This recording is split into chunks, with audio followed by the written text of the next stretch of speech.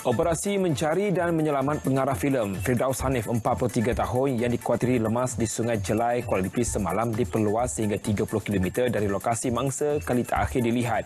Ketua Polis Daerah Lipis, Superintendent Azli Muhammad Nur berkata operasi dimulakan pada 8 pagi tadi dengan melibatkan 15 bot selepas dihentikan 7 malam tadi.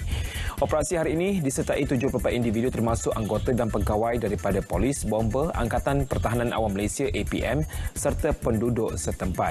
Lima anggota daripada pasukan penyelam bomba juga turut serta dalam operasi hari ini. Semalam mangsa dilaporkan hilang berhampiran jabatan gemuncur di Mela selepas bot fiber dinaikinya bersama rakan untuk memancing terbalik dengan rakannya ditemui selamat. Azli berkata arus di sungai berkenaan kini dalam keadaan deras dan pencariannya tertumpu di permukaan buat masa ini.